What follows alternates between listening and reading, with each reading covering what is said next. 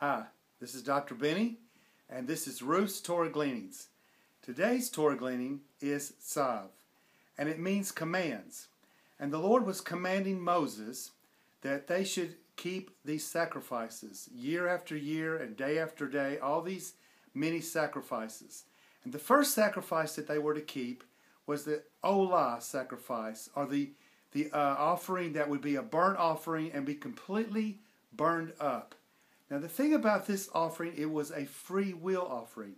And that's interesting because Yeshua is a picture and a type and a shadow of that Olah offering. Even if we think about it in English, that's where we get the, the word Holocaust. It's a burnt offering. It's a burnt, completely burned up. So there's the only thing that's left are the ashes. And so it's completely consumed, completely given, completely taken. And the picture of Yeshua is the fact that he completely gave his life, he was completely used up, he completely gave everything that he had so that you and I could know the Father. So that by, by his sacrifice of his body, of his of his flesh, of his of his whole being, that then we could know God. So isn't it wonderful to think that this sacrifice that was commanded by the children of Israel was a type and a picture and a shadow of what one day Yeshua would do.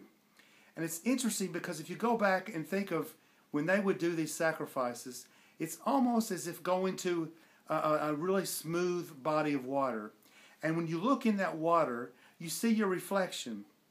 And as long as you're standing over that pool of water, you continue to see your reflection. It's not until you back away that your reflection disappears.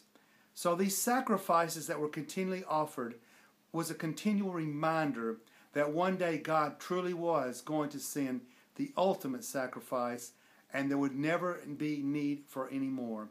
And so isn't it wonderful? That's exactly what Yeshua did for you and I.